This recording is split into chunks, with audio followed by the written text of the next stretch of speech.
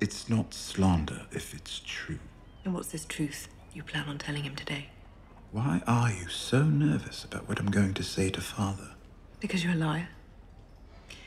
I expect you'll tell lies about me, about Joffrey. Any lies in particular? You're a clever man. But you're not half as clever as you think you are. Hmm.